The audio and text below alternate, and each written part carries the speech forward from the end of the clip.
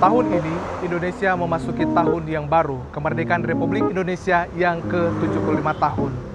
Sebagai warga dan pendidik di lembaga pendidikan yang ada di Kota Bitung, saya berharap dalam dunia pendidikan adalah ketika pendidikan menjadikan generasi yang memiliki pengetahuan dan kemampuan yang baik, serta pendidikan menciptakan generasi yang memiliki integritas dan karakter yang baik.